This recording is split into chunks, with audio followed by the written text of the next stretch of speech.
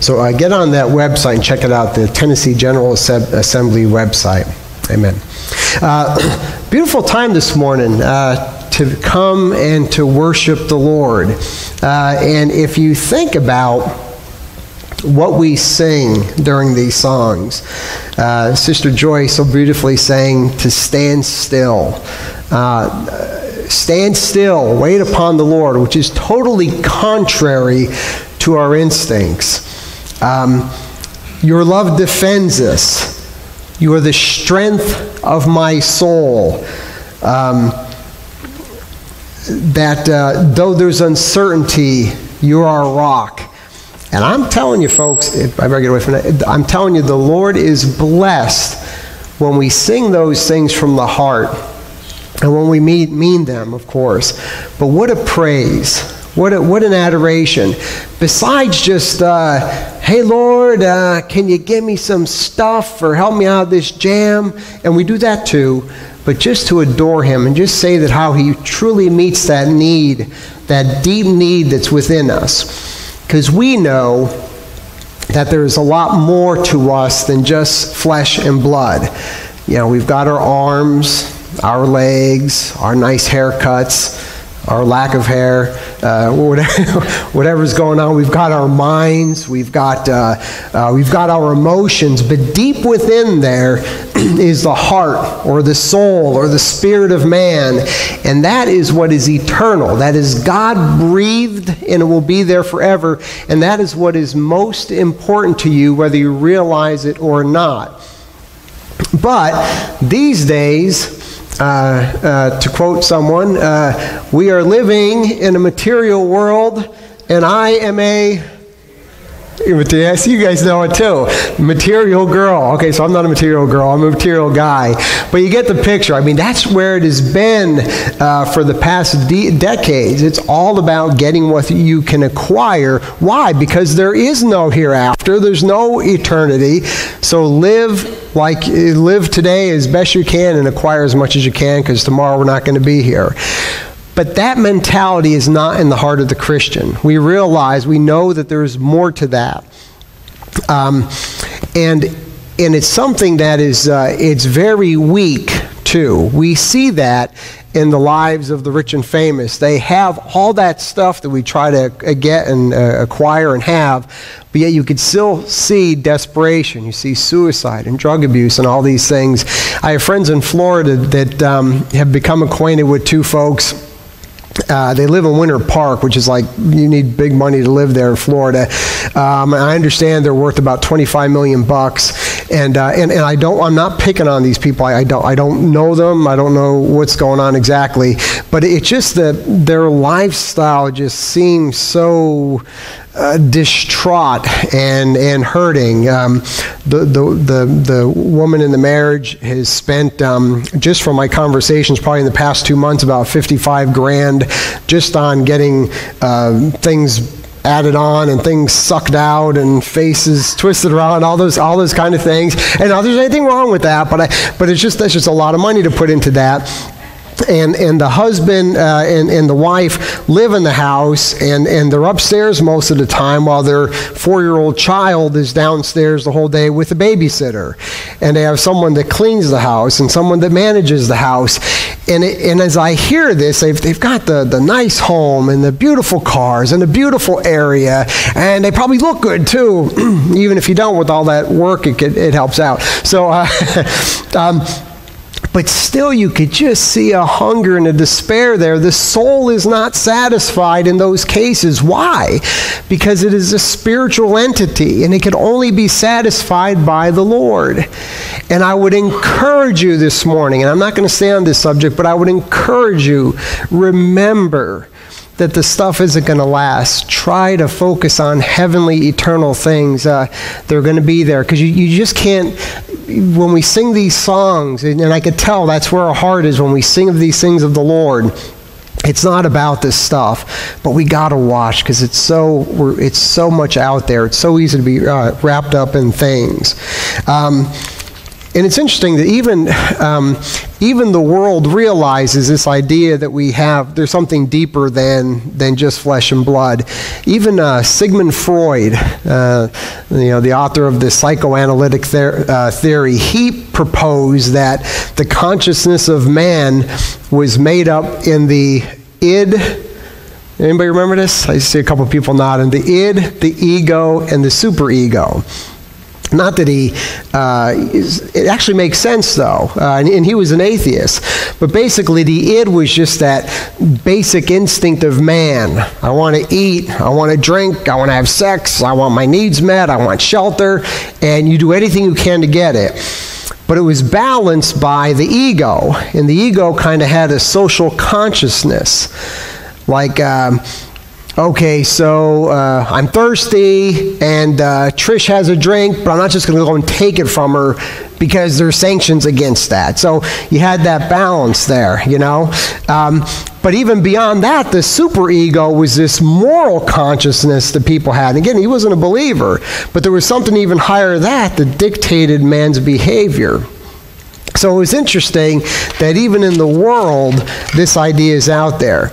Now, man's moral code, man does have a morality of sense. Because if you remember, in the Garden of Eden, uh, Adam and Eve ate from the tree of the knowledge of good and evil. So I'm telling you, out there in the world today is an attempt for goodness. Uh, whether they're interested in trying to please God or not, there's an attempt at goodness.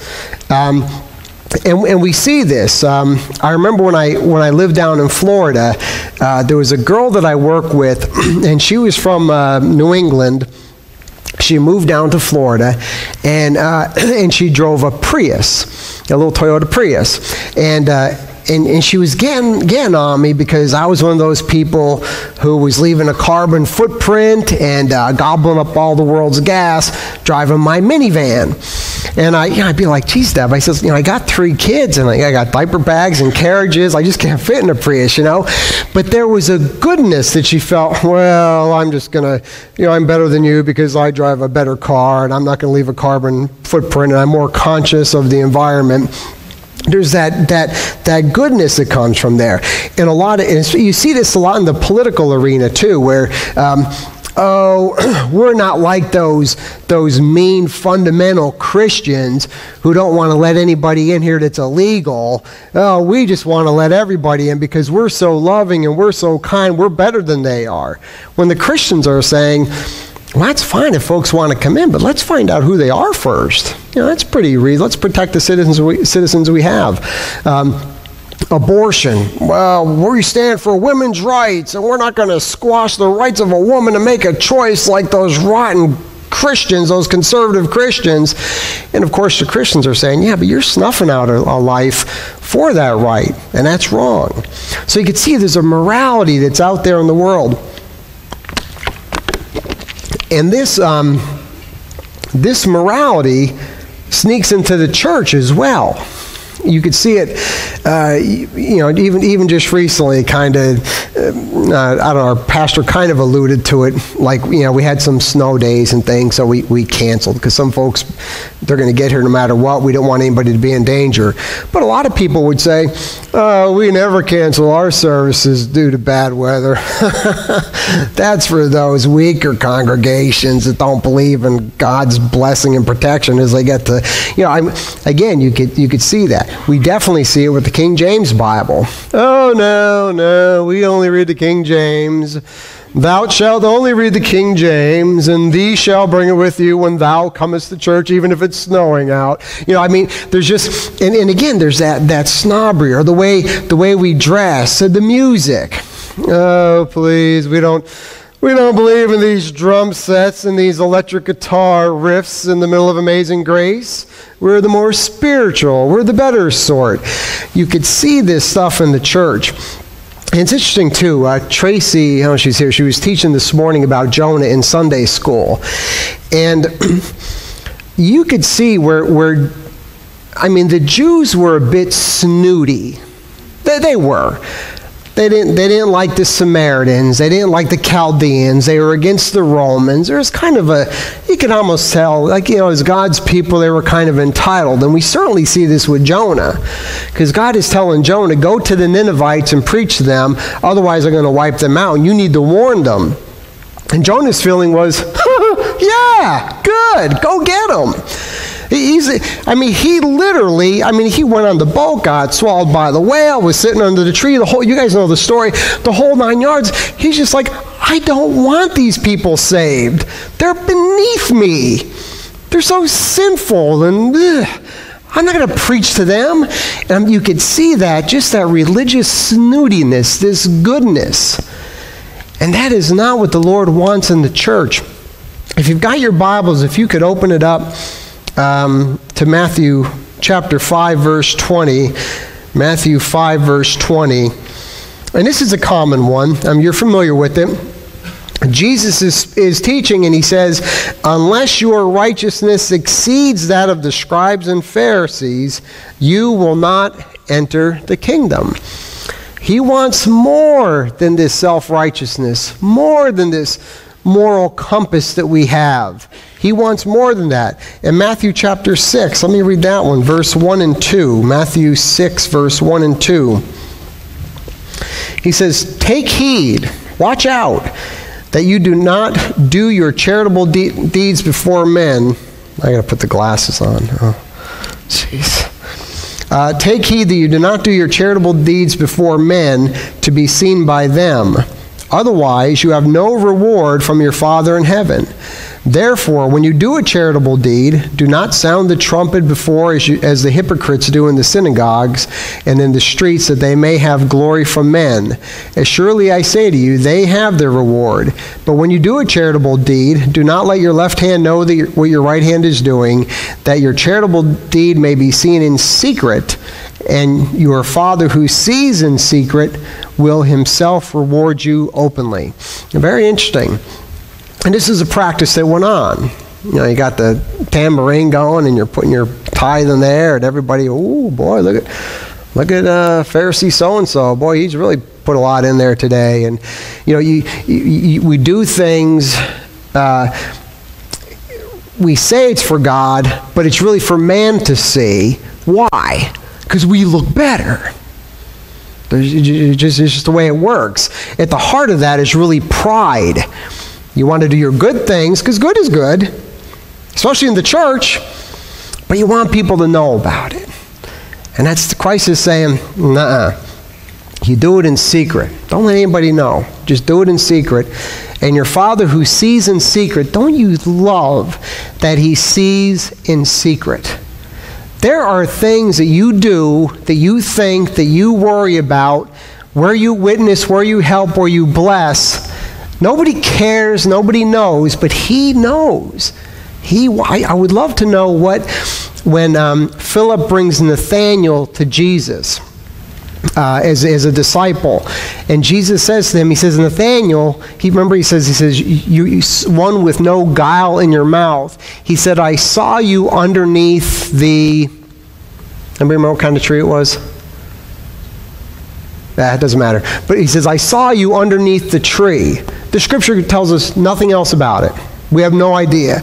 But there was something going on personally that uh, Nathan was dealing with, and Jesus saw it. God sees. He sees the struggles, He sees the hurts, and He sees the good things that we do.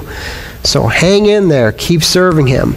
But that's what Jesus wants. He wants us to have that love. So in Jonah's case, Sure, he took the, he had the moral upright hand. Yes, they were sinners. Okay, we got that. He could probably read down the commandments and say they're not doing this, they're not doing that, they're not doing this, they're not doing that.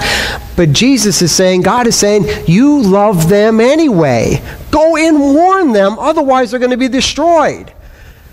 Jonah just, no, no, I'm leaving. I'm leaving. That's it.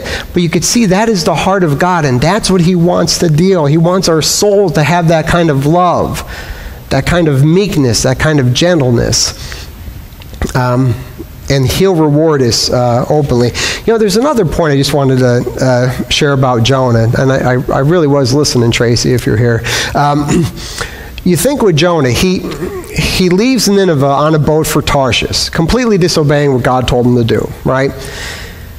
He gets on the boat, the Lord brings a storm, and they end up throwing, they cast lots, they throw him overboard, the seas calms. But it says that those guys on the boat, they're not even Christian, they're not Jewish, they, they don't know God. But it says they end up bowing before God and honoring Jonah's God because they asked him, Who's your God? He says, I'm a Hebrew, it's, it's, it's God of the land and seas. So here you have like this conversion of sense on the boat.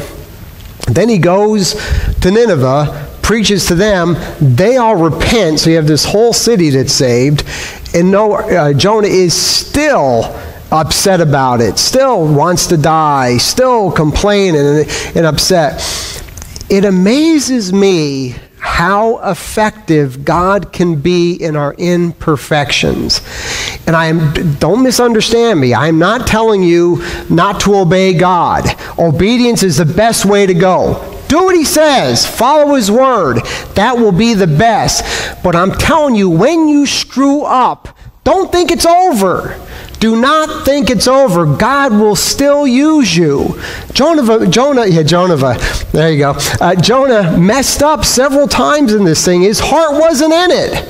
God had to forcibly bring him to Nineveh in a fish. He got his will done. God's will is going to happen. Be a part of it. Don't think it's over just because you're screwing up. Hang in there. It's not about your faithfulness. It'll never work then. It's about His. I'm going to tell you one quick story. And again, this is it's a little edgy, and please don't misunderstand me. Just but to, to make a point, I've got I have a good buddy up uh, up north, and he always struggled uh, his whole life with porn, strip clubs, and all that kind of stuff. And uh, he he loved the Lord. He he he administered in church. I knew he had a good sense of the gospel. And he went out one night, he, he just blew it. Whatever it was, he was upset. He got to drinking. Nothing was worth it. His life was over. His wife was upset. He gave up. And he goes to a strip club. And he's sitting there at this strip club. And one of the girls come over and start, uh, starts talking to him. And you know, he actually, and he was drinking too, he starts telling this girl about Christ. Now, I'm not recommending, recommending this to anyone. Do not tell Pastor that I'm talking about, I'm you go to strip clubs. I'm not. He'll be back like in 30 minutes. So that's not what I'm saying. But what I'm saying is that at our worst, there, he still he has a plan. That girl had to hear and it happened. And he said there were tears coming down her, down her face as he's just sharing. He's, he's being honest with her. He says, I'm a screw up. I'm away from God, but I know God loves me. I know He has a plan for me. I'm messing up. I'm messing up now. I shouldn't be here. He was honest with her.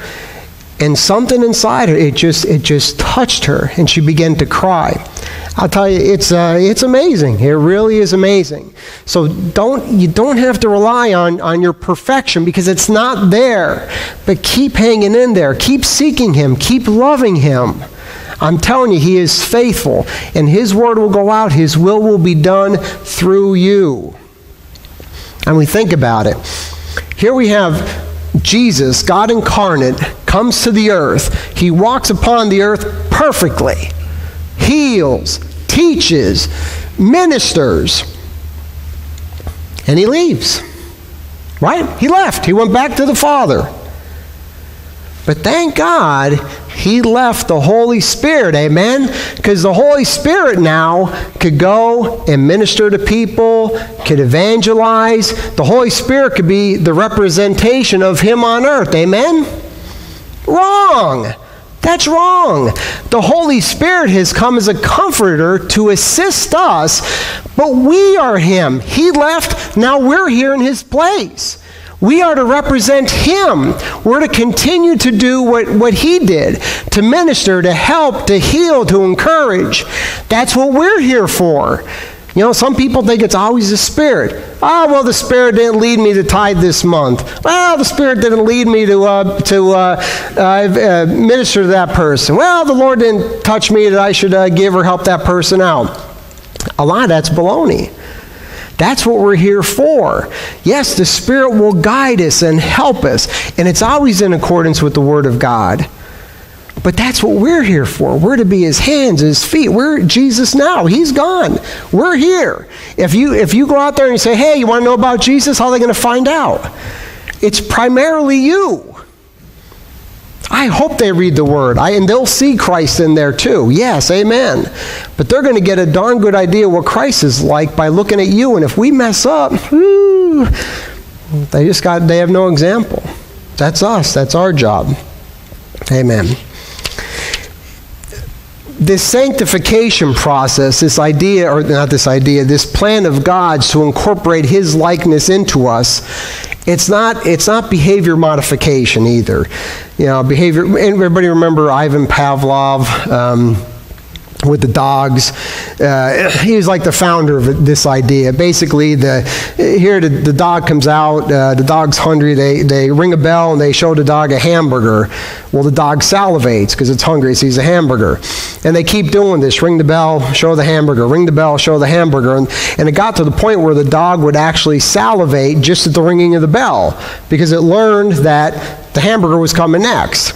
It's like behavior modification. So you could, you could alter people's actions based on rewards and punishments.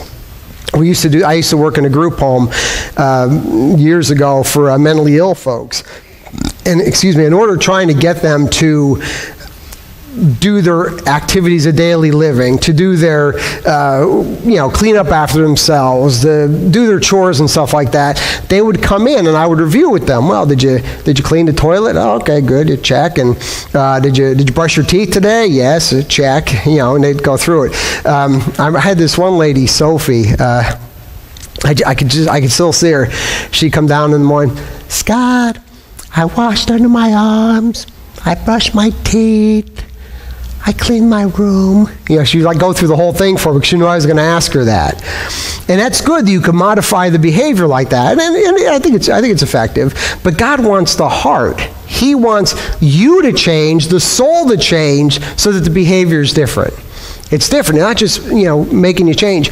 Because what Sophie could do, Sophie could come down she could reach into the dirty toilet, get a rag, get some toilet water, and go and wipe off the kitchen table with it. Yep, clean it all up. And she'd come down and say, Sophie, did you clean the kitchen table? Yes. She did it. She did it. I modified her behavior, but I haven't got to her heart at all. And I'm telling you, in the church, we behave the same way a lot. We've got the actions down, we got the niceties, the hey brother, the, hallelujah hugs. But yet, we're bad mouthing, cutting people up when they're not around. We got to watch. We got to watch. We talk love, we dress nice, we're smiling. But then we're we don't want then somebody has a need. No, we don't want to we don't want to fool with them. We don't have time for that. So we got to watch. It's more than just the outward. God wants, He doesn't want that. He doesn't care if the outside of that cup is shiny. He wants the inside. That, that's what he wants. He wants that soul to change, to be reflective of who he is.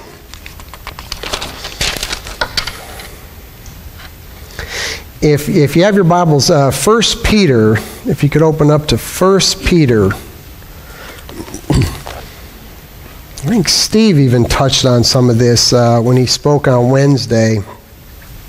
1 Peter chapter 2. Oh, here goes the glasses again. Boy, I'll tell you, these, it's, it's ridiculous. I, I used to be able to see uh, close up well. I've always had glasses for distance since I was in kindergarten. Now I can't see either.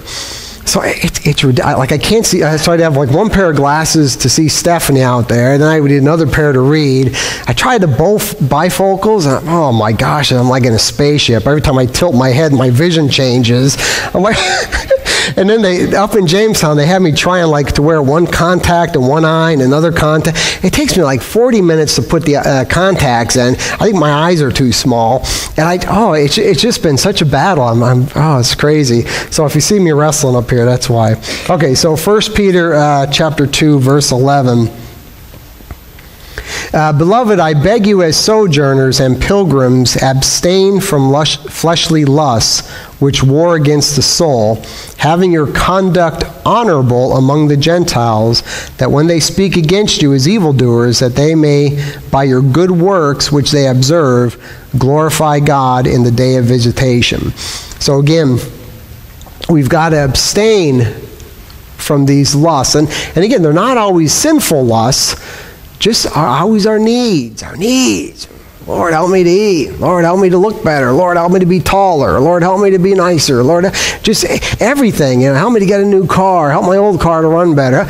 Always with the needs. But sometimes we, some of these things, we just have to learn to put them in their proper place. Not that we can't have them. There's nothing wrong with those things, you know, those things I mentioned, but they need a place, and the things of God need to be first. Remember, seek first the kingdom of God. All these things will be taken care of, but keep Him first. Um, and when we do that, when there's when there's when the evildoers come against us, they'll have a witness. They'll, they'll say, "Yeah, you know, I'm." I don't, uh, I don't necessarily uh, believe Irv's politics. You know, he's, you know, kind of loudmouth there, and you know, saying, give his opinion all the time. But I'll tell you what, man, he really loves his wife, man. I, I've seen that guy in action. He takes good care of Fran. Buys her a new camera every month you know, real just just takes good care of her. You know, these these these things, the hearts change. So you, you're, a witness to, to people, the evildoers. They they may have something bad, but when it comes down to it, they see that you're real, you're authentic, you love people, you love God, you're faithful. Let let them be seen. Let that witness of Christ be in us. If you could go over to 1 Corinthians uh, chapter 9, 1 Corinthians chapter 9.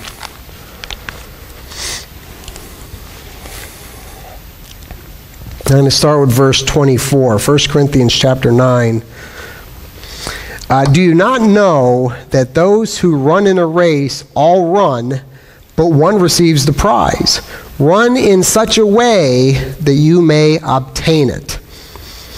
So he's saying, He's not even saying that there's just one prize. Like, don't think, oh, everybody's going to run for this prize. There's one crown. I'm not going to get one because Linda's so much more spiritual than I am. That, that's not it. He's saying run as if there's one prize. you are competing. There's, some, there's an urgency there. Don't just meander through your Christian walk well, I'll go to church today, and uh, you know, hopefully, pastor doesn't preach too long, and and uh, well, you know, I put a dollar in at the roadblock there because Ashley was out waving a sign for the cheerleaders, so I, you know, I did my goodness there, and you know, well, I'm. Um, you know, I, I, I could watch that movie even though it's filled with foul language and nudity, but no one will know. I'll still look good on Sunday morning. No one's going to care. Not going to make any difference to Brandon. No, no, no. Don't don't like try to take your walk like that. That's not a race. There's no urgency. There's no there's no putting your heart and soul into it. We need that. we need to it's important. It's important. Amen. Let me keep reading here. Um, and everyone who competes for the prize is temperate in all things. In other words, they're disciplined. And we see this discipline. You see it in sports, you see it in people that, that have business. There's a discipline required for things in the flesh. By all means, it's required for spiritual things. There's a temperance, a discipline. Now, they do it to obtain a perishable crown, but we for an imperishable crown. Amen. Therefore, I run thus. This is Paul saying. So this is how I run. Not with uncertainty. He's not doubting. Is it even worth it? I don't know. I'm going to go to Ephesus. I'm talking to the Corinthians. They don't like me. Nobody cares. I don't know. I, I, I just don't know. I'm watching Fox News. I'm depressed about everything going on. Nothing seems to change. I don't know if this Jesus stuff is real. Nobody likes me. I still have no money. I've been a Christian for five years. You know, the, not, don't be uncertain about these things. I promise you, He is there and it's important and He loves you. And there is a purpose and a plan for everything you're doing.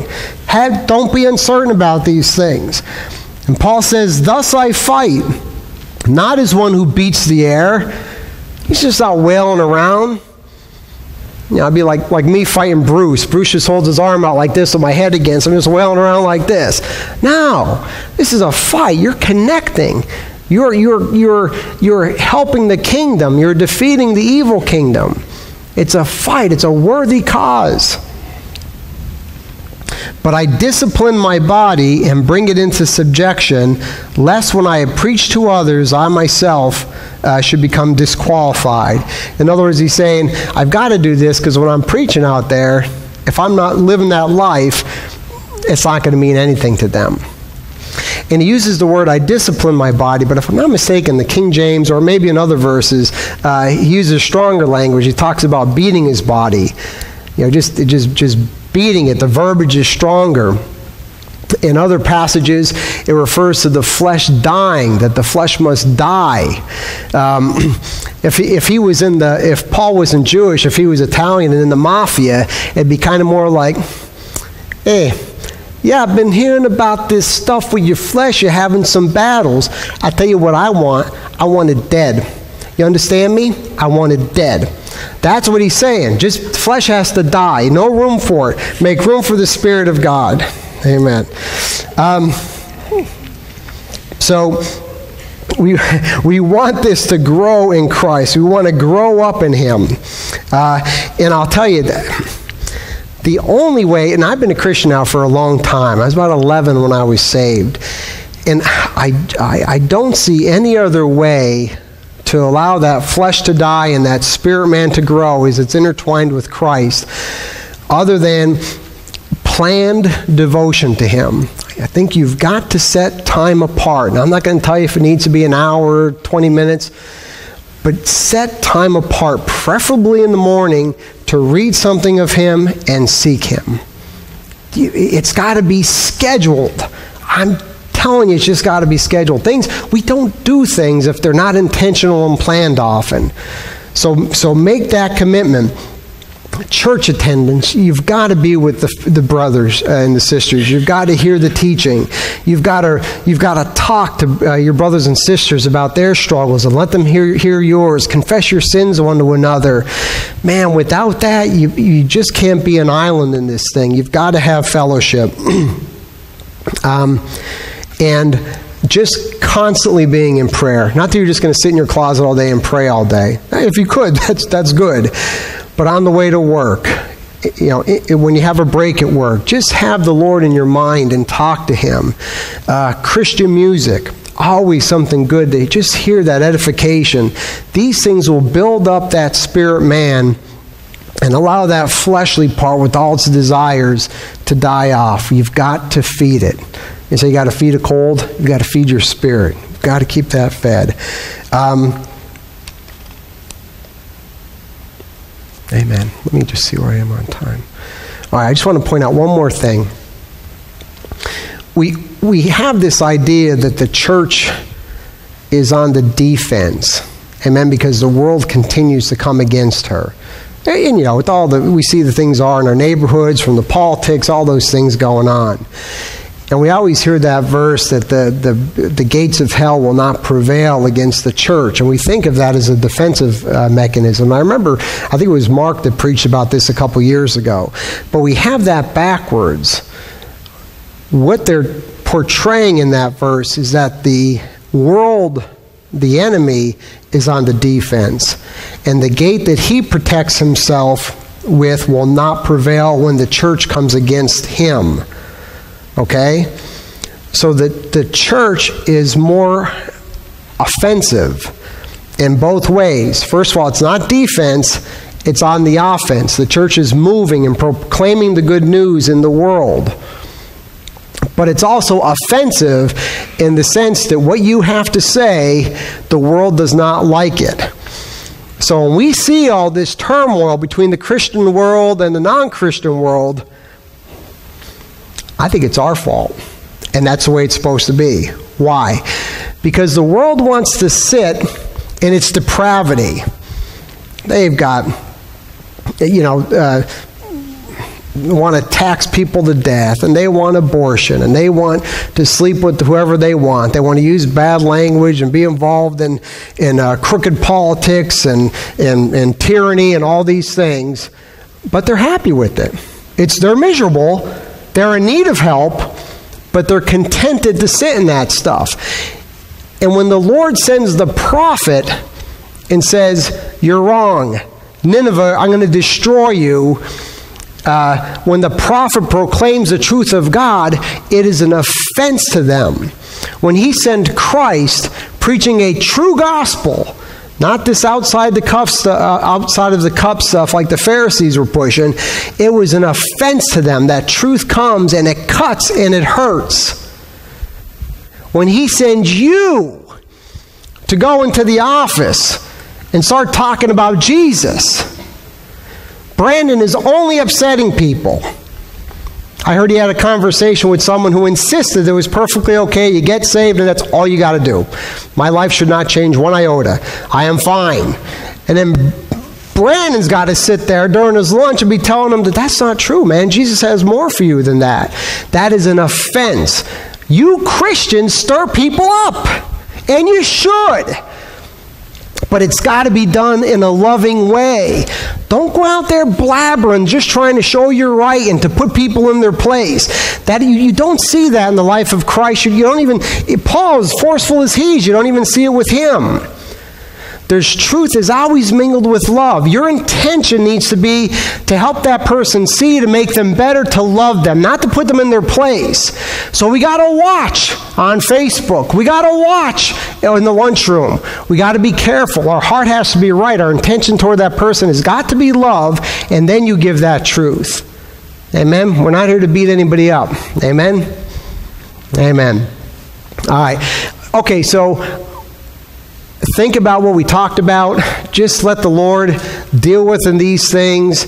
Uh, seek Him, love Him, and I'll tell you, He'll, he'll meet that need right where you're at. He'll be there. That, that deep, deep need that we have in our soul is only, it's only something He can, he can meet. Amen. So I'm letting you go a little late, late, but it's way earlier than Pastor would have. So I, I don't I don't feel too bad. Um, but uh, Leslie's going to close us out in prayer, and I, I hope you guys have a wonderful week.